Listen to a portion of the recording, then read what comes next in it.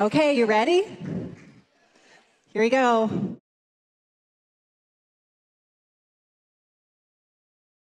I'm 14 years old and I'm jumping on the trampoline at the gym.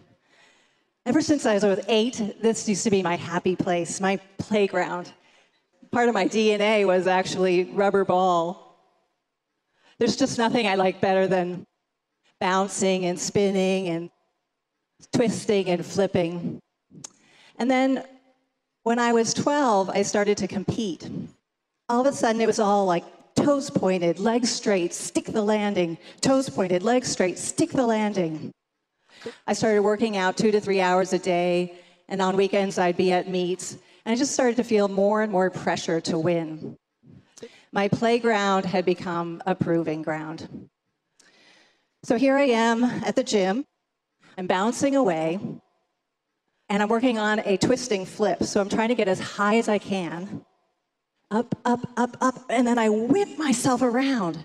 But I don't flip, so I come down, boom, on my head. I wake up in the hospital with a broken neck. Doctors tell me that I'm lucky not to be paralyzed, but that my gymnastics career is over. You know, once I come home after a week in the hospital and I'm recovering in bed and I come out of shock, I start to grasp my situation and I realize that it's actually okay. In fact, I'm kind of relieved. No more trying to get my bow legged knees to touch. No more knots in the pit of my stomach the night before a meet. No more pressure to win. But I am still stuck in bed.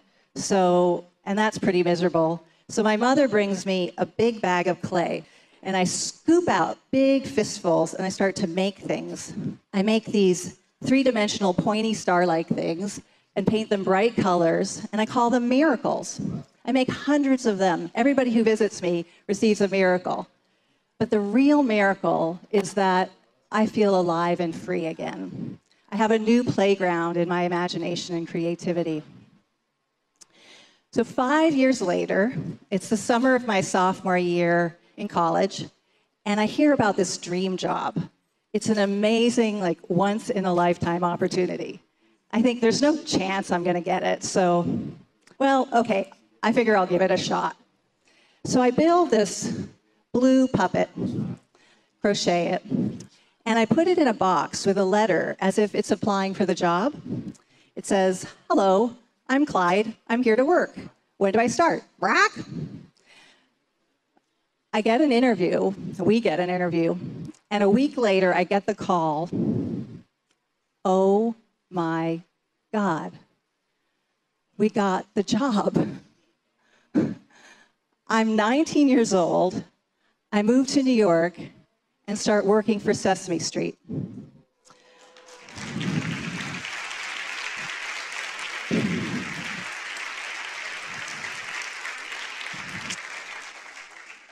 I can't believe my life. I mean, I get to make something wacky every single day.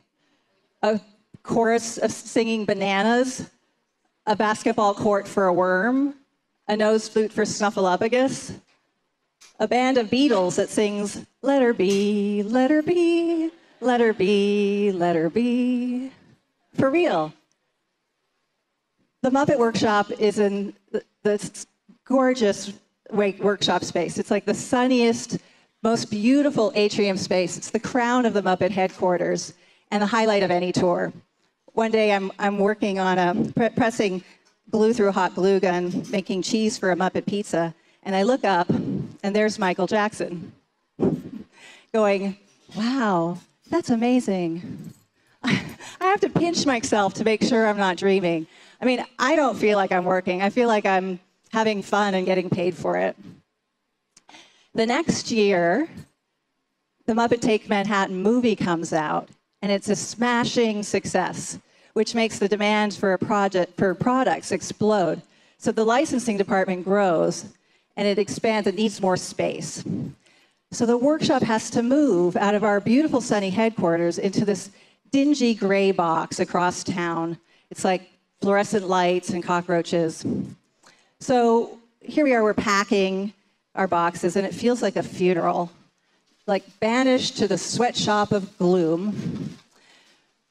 We stop getting visitors and we just start getting memos instead, and lots of paperwork, tons of paperwork. All of a sudden, I get that knot in the pit of my stomach again, and I feel like toes pointed, straight legs, stick the landing. Once again, my playground has become a proving ground. So today, I want to share with you why it is so vitally important that we restore our playgrounds and the four miracles that I found that made that possible. Why are we even talking about this? Because 200 years of the Protestant work ethic has us believing that play is a frivolous pastime, the opposite of work, and a distraction from serious business. So playful spirits are getting bumped out of beautiful sunny atrium spaces and smashed into boxes every single day. And we take it for granted, like it's just part of growing up or the cost of success. But we're wrong. It couldn't be more wrong or opposite. In fact, recent advances in uh, play research have literally turned the work ethic on its head and taken a look inside. And here's what they see play actually grows brains. Neuroscientists have found that rats who are play deprived have brains that are 20 to 30% smaller than the playful rats. You can actually see on brain scans what a half hour of play looks like. There's actually nothing that produces as many positive emotions as play. You get love, joy, excitement, contentment, optimism, wonder, awe, everything. And we now know that this cocktail of endorphins benefits every area of our lives our immune systems, our creativity, problem solving skills. Seniors who are play deprived, they were found they had a greater health risk than smoking and obesity. But this is just the top of the iceberg.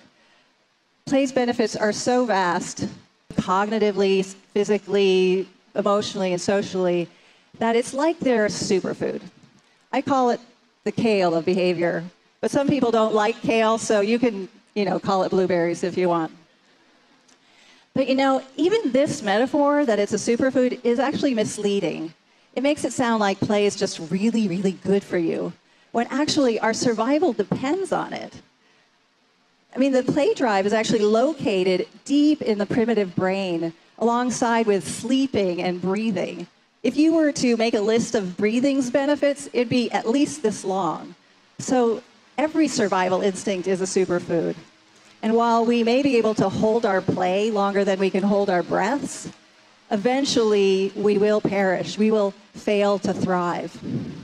As Stephen Jay Gould said, sloppiness, broad potential, quirkiness, unpredictability, and above all, massive redundancy. The key is flexibility, not precision. That's what evolution consists of. In other words, it plays. That's how we got an invisible gas, hydrogen, to turn into the Milky Way galaxy. That's broccoli over there, bulldog, and an iPhone in just 13.7 billion years. Not straight legs, pointed toes, and stuck landings, but big messes, extravagant experimentation, and unbounded free play. And yet, we're squeezing it out of our lives at an alarming rate. Children are working 10 and a half hour days. They play an average of 11 hours a week. And adults are even worse. According to Harvard Business School survey, 94% of professionals work at least 50 hours a week. Half of them work more than 65 hours a week. I mean, this is crazy. We're wired for play. Our survival depends on it. So, why are we paving over the playground at such an alarming rate? Attachment theory is one of the most widely accepted frameworks for understanding human development. And it tells us, it, it, gives us a good clue about what's going on. It tells us that our well being boils down to one fundamental thing the security we experience emotionally with the caretakers in our life, key relationships during the first few years of our lives. Nothing is more important than that connection. It determines not only our health, but how we see the world as a whole, our worldview. If we got consistent emotional support, then we're likely to experience a world that's full of opportunities and playmates and adventures. But if that support was less reliable, we're likely to see life as a perpetual test where we have to constantly earn our security and approval through achievement or status. And if, in a more extreme case, we, our caregivers were absent or unsafe, then we're likely to see life as being full of threats that we have to consistently protect and defend ourselves from. So we play to the extent that we feel held and safe. If we aren't playing, it's because we don't feel safe. So attachment wounds aren't just limited to individuals, societies have them too. So even if we got the benefit of a secure base, we're likely to grow up in a society that's disconnected and just breeds insecurity. But here's the good news there's a counter trend. We're now seeing more and more books come out that feature the benefits of play, a lot of them bestsellers. I counted recently 200, no, over 250 adult coloring books on Amazon.com. And play is also a big theme in business, especially Silicon Valley. We now know that ping pong table sales are an index for the health of the tech economy. so we're starting to get it. Play, good. But let's face it, dropping a ping pong table in a culture that's cutthroat and full of fear is not going to suddenly turn it into a joyous playground. But the real problem is it's not just that we don't play enough, it's that we get caught in the insecure achievement mindset of the proving ground, and just playing more isn't going to get us off of it. So, what will? Is it even possible in the pressures of modern life? Luckily, thank goodness, it is. Just try to imagine being the spiritual leader of a country that's going through cultural genocide. Everyone's looking to you for spiritual guidance, and still having joy and peace in your heart and nothing to prove. I've heard the Dalai Lama a few times, and I never forget, I never remember what he says, but I never forget his giggle. And he's one example, but there are many. In fact, almost all the spiritually mature people I know are playful. Their playfulness is an expression of their freedom, which comes from a deep sense of security and safety, which is something I don't have much of, certainly in my 20s and 30s. After I leave Sesame Street, I work on one creative project after another, and every single one of them starts out full of excitement and possibilities, but eventually they all become these grueling grinds. I seem to have this special gift of turning possibly the funnest projects in the world into stress traps. I am the luckiest, most miserable person I know. And then it dawns on me that I'm the one bringing the proving ground with me wherever I go. And I look around me and I see that the world is full of provers and battlers, and that it's not only destroying our lives, it's devastating the planet. So then I become really interested in how to restore playgrounds. And I wonder if when we're free, we're free to play, then can we also play our way free? Is play both the path and the destination? And if so, how? This question really grabs my interest. So I set out to learn everything I can about the transformative power of play. I cast my net really wide and I study, every, study everything from clowning to cosmology, philosophy to theater improv, and here's what I find out. Here's what I learn. I am looking for miracles, and I find four. Rest. If we're going to make play a priority, we have to make rest a priority. Most of us have been proving or battling for decades, we're exhausted, more exhausted than we even know. So, like one week in bed is a good start, doing absolutely nothing. After I spend a week in bed, I finally start to feel like I got a good night's sleep, which is a miracle. But you know, as soon as we start resting, difficult and painful feelings are likely to come up. So, miracle number two is welcoming everything. That I like to think of it as like having big, loving mama arms that are just embracing reality as it unfolds and then hugging me so that I feel safe enough to experience all of it. I mean, that doesn't mean agreeing with or condoning everything, what's happening. Definitely not. But it does mean letting it all move through me and not stuffing it away in the box because when we do, our playful spirit goes with it. So when I do let myself feel everything, I feel much lighter and more playful and freer, and that's a miracle. Miracle number three follow your joy. That just means only doing something if it gives you joy. If I've had a, a proving ground crash, I usually start with the low hanging fruit, like snuggling with my dog, um, eating mangoes and cashews, or listening to music. And listening to music leads to swaying, which leads to dancing, which leads to dancing like a maniac. It's a miracle. Of course, it's easy when we're not under pressure, but when we are, following your joy means listening carefully to the signals that tell you when to stop, when to take a break, when to what to eat. Of course, it's hard to hear them sometimes. They can be very quiet, so we have to pay very close attention. This guy, you just saw him, he lives inside my head.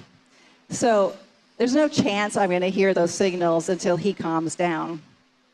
But once he does, we get the fourth miracle practice mindfulness. That means sitting still, letting yourself settle down, and then just bringing awareness to all the thoughts, feelings, and sensations as they arise.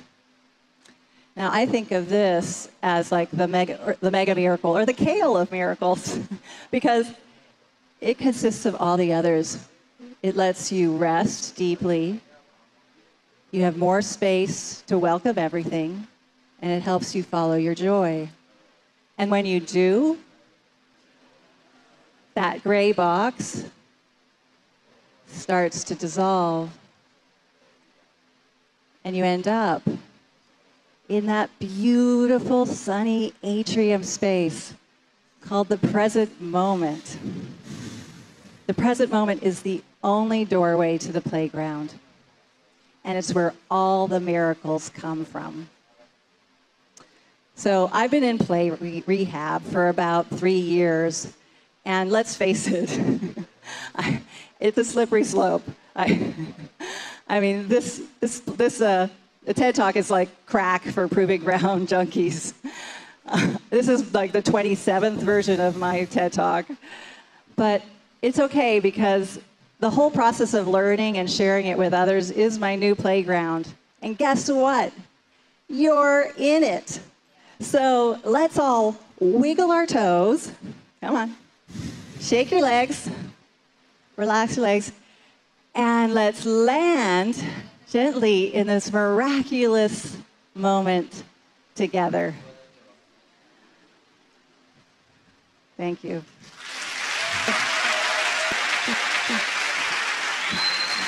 There we go.